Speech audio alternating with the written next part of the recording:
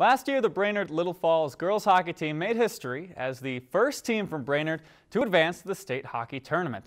Now the question is, what will they do as an encore, returning 15 players who had a taste of greatness last year? A battle of ranked teams as they took on Cloquet Esko Carlton. Scoreless after one period in the second, the hometown team strikes first. Taylor Nelson to Dia DeLeon Lumberjacks take a 1-0 lead, but the Warriors would respond on the power play. Shot from the point, Olivia Wisco knocks it in to tie it up. But the Warriors fall short as they give up two goals in the third period to fall 3 to 2. If you enjoyed this segment of Lakeland News, please consider making a tax-deductible contribution to Lakeland PBS.